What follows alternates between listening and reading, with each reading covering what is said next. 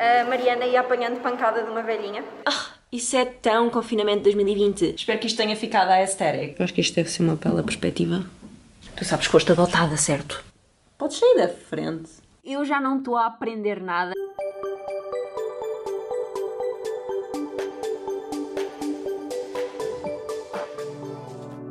Bom dia!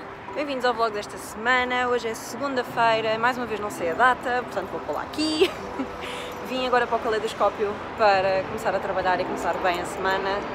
Espero que seja uma semana produtiva, mas pronto, já falamos. Até já!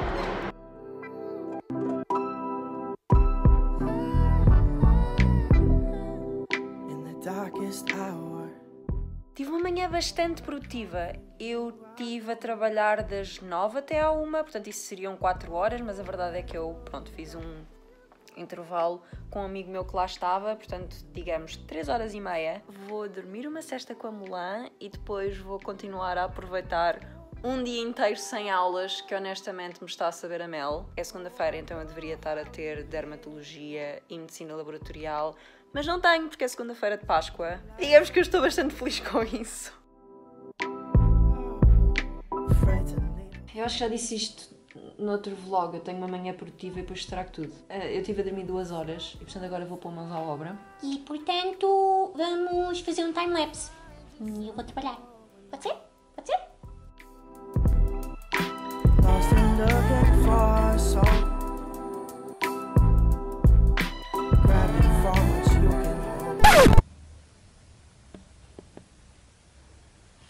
O que é que tu tens contra o reino vegetal?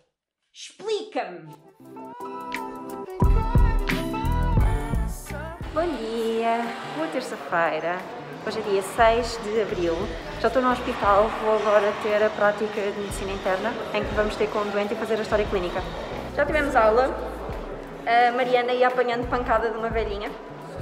Mas de resto correu tudo bem. A Mariana ia ser a primeira a experienciar a violência contra profissionais de saúde hoje, porque a senhora confundiu-a com uma médica que lhe tirou sangue e que, segundo ela, lhe deixou muitas nódoas negras.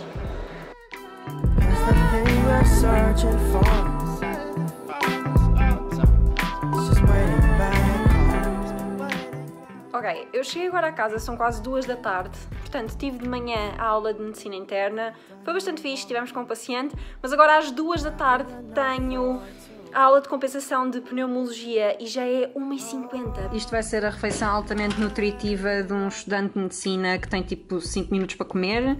São dois ovos estrelados e massa do jantar de ontem, juntamente com um donut.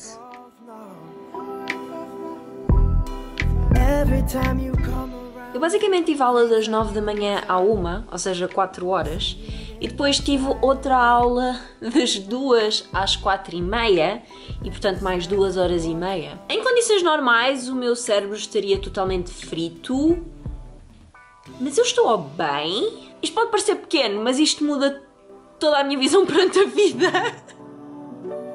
Eu acho que vou agora fazer um bocado de exercício só para pelo menos não parecer tão batata quando chegarmos à altura do verão, porque eu quero usar tipo crop tops e etc. Vamos só ser honestas, quando nós nos sentamos, esta coisa aparece sempre, mas pelo menos que quando eu tiver direita não haja coisas e que seja só os quadradinhos de tablete de chocolate.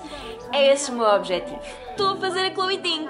E vocês vão dizer, ah, isso é tão confinamento 2020. É, é, mas eu estou a adorar. Já, fica aqui a forcinha para vocês irem, nem que seja caminhar, mas sejam ativos. Façam qualquer coisa hoje para o vosso bem-estar físico e também mental e emocional. Dizem que também é importante.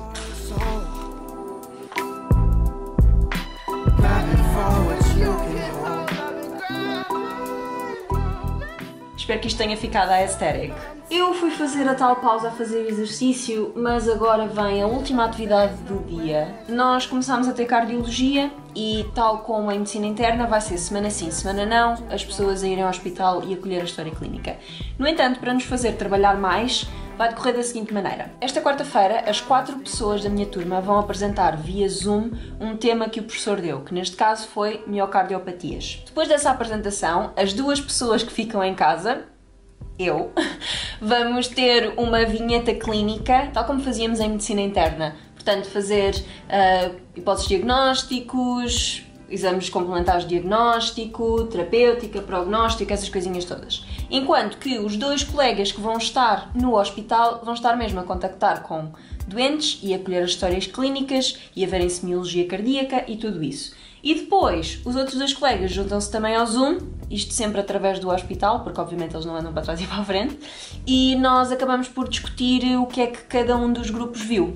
Ou seja, isto é bastante positivo, porque no fundo obriga-nos a estar sempre a trabalhar e a aprender alguma coisa, independentemente se nós estamos no hospital ou não. Bom dia. Eu acho que isto deve ser uma bela perspectiva. Vou apresentar agora. São 8 e um quarto, portanto faltam 15 minutos. Epá, tu sabes que foste adotada, certo? Eu vou-te devolver. A apresentação está feita e eu vou-vos só mostrar porque posso, porque o Barbara tem medo.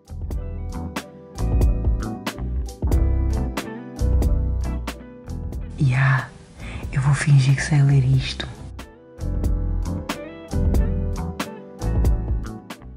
Eu acabei de me perceber que isto até tem um erro. Obrigada por reverem a apresentação comigo. By the way, fun fact, isto chama-se taco cenas porque é o nome que se dá a este pote que é usado para hum, pescar polvo no Japão e o coração fica com esta forma. Alô, ora portanto, já tive a minha aula de cardiologia, correu bem, conseguimos resolver a vinheta clínica e o nosso diagnóstico estava correto. Eu abri isto. Eu vou só ver quanto tempo é que ela demora a aparecer. Eu já tive 4 horas de aula hoje, ainda falta uma hora e meia de aulas e eu quero agora tratar da história clínica que nós fizemos ontem, tive que começar a passar. Ih, ela apareceu! Eu estou cansada. E tu portaste muito mal durante a noite. Podes sair da frente. Em 8 anos de carta, eu fui hoje pela primeira vez parada pela polícia. Eu não tinha acontecido. É ok. Os polícias são simpáticos, não percebo porque é que as pessoas ficam assim tão nervosas. Acho bem que a nossa Polícia de Segurança Pública continue a manter a ordem e cenas. Ok, vai, eu vou trabalhar.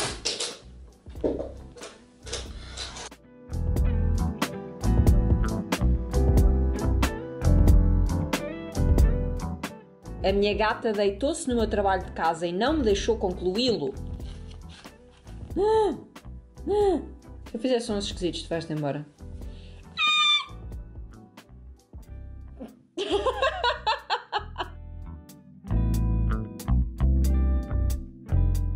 Bom dia pessoal, feliz quinta-feira. Tivemos agora de manhã uma reunião só para acabarmos de acertar uns detalhes sobre a história clínica que tínhamos escolhido na terça-feira, que vai ser agora para defendermos, porque no fundo a professora vai corrigi-la e nós temos que justificar porque é que escrevemos umas coisas, não escrevemos outras e porque é que achamos umas coisas e não achamos outras. Eu ontem acabei por não dizer mais nada, porque a verdade é que fiquei com uma enxaqueca horrível outra vez. A malta que tem enxaquecas de certeza que percebe.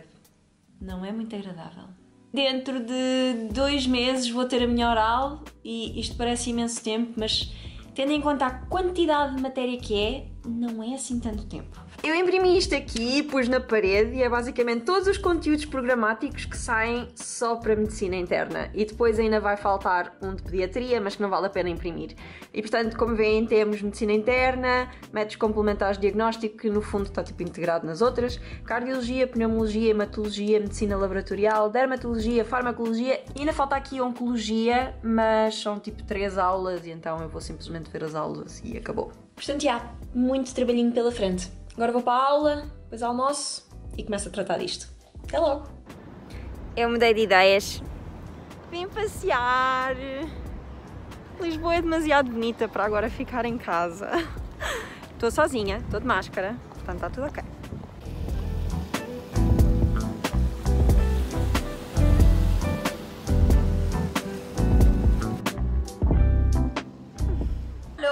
Voltei para casa. Uh, como vocês perceberam, o meu dia sujo. teve um ligeiro detour, mas é que estava demasiado bom tempo para não aproveitar e Lisboa é uma cidade linda, portanto achei que merecia. Era suposto eu começar a estudar medicina interna porque eu já nem sequer tenho cartões de Yankee para fazer da disciplina. Bem, eu ainda não fiz nenhum cartão hoje e como vocês podem ver já não há cartões nem de medicina interna nem de dermato. O que significa que eu já não estou a aprender nada. Se eu só fizer as aulas no final, eu vou ver os cartões tipo uma vez e portanto não vou aprender nada. Por isso tenho que começar a tratar disso. Eu tenho imensos cartões atrasados dos últimos dias e eu normalmente faço tipo 100 por dia ou 150. Eu não percebo aquelas pessoas que fazem mil. Isso é de doidos.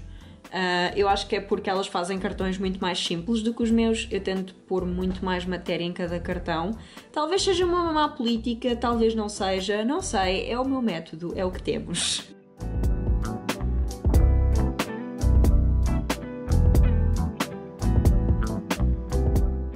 Alô, já é de noite. Eu estou a acabar agora de editar o vlog para sair amanhã. Acho que vou mesmo fechá-lo por aqui porque eu estou a tentar manter sempre os vlogs em mais ou menos 10 minutos. Um beijinho muito grande, continuem a trabalhar e a descansar também porque isso é muito importante e vemo-nos para a semana.